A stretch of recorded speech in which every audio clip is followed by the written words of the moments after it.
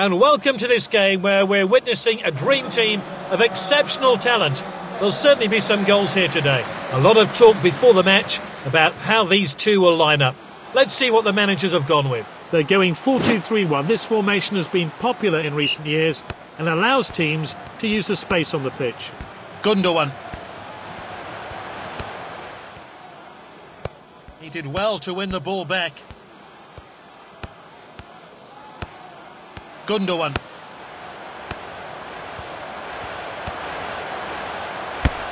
An outstanding header.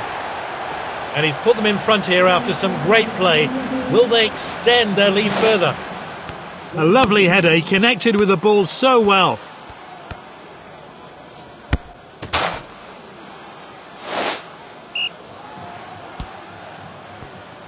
Won the ball.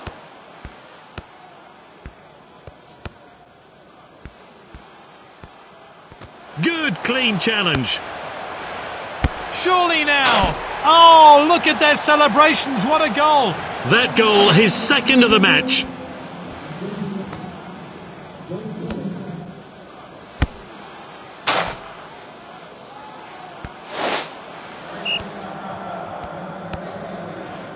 Defender then. Cancelo with the tackle. He's darting forward using the width of the pitch. Koundé with a tackle. Sterling. Cancelo with a tackle. They're not going easy on the opposition today. They're hungry for more. He's got the goal in his sights. He's put some power behind it. Lewandowski scores. Great finish there. It's a hard skill to master. But to pull off a fine volley like that, and you're always going to be troubling the goalkeeper. The manager's hoping these substitutes will re-energise his flagging team. Great dribbling. This is Lewandowski. He loves to run with the ball. What a volley! It was good, but the keeper reacted quickly. And that one swung into the box. Gets in the way of the shot.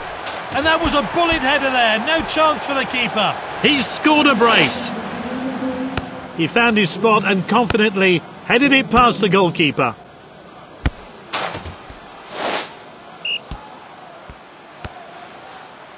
And Nkunku with the ball. He dribbles the ball forward. Koundé with a tackle.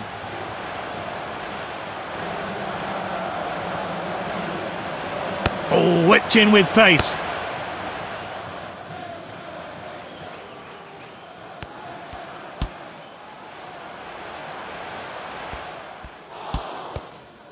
Well, that was an emphatic win. They've got to be pleased with that result.